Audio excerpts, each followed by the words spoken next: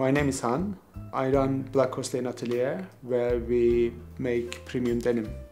We've been running for the last two years as a denim atelier, but before that we were tailoring uh, factory and we've been here for 22 years. Our ethos is to produce best denim in the world. It came about me wanting to do better than uh, American brands, but when we set it up, we realized the best makers were Japanese. Now we are trying to make better than Japanese. Our machinists, they are the shareholder in the company. My mom and dad used to be machinists, and I have huge respect that they are the artists, they are the heroes of our factory, really. When we started in this building 22 years ago, we found 95 workers in three weeks. 21 years later, when we were setting up Blackhorse Lane ateliers, we only had eight machinists applying for a job.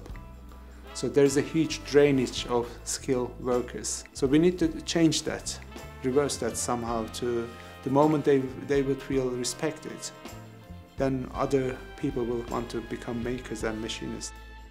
When you make things with your hands, there's a process. It's a very satisfying process where you know that inside will be as beautiful as outside. Perfect. Everything is done in-house, from leather patches to rivets to pressing, packaging. Everything is slow made and we follow heritage style making. So sometimes all techniques are the longest techniques. Of course, through that it becomes more expensive, but it's better quality. We are creating a denim community here. Very often we do talk about uh, making London hub of denim. And of course with that, it will grow. And I really believe in that.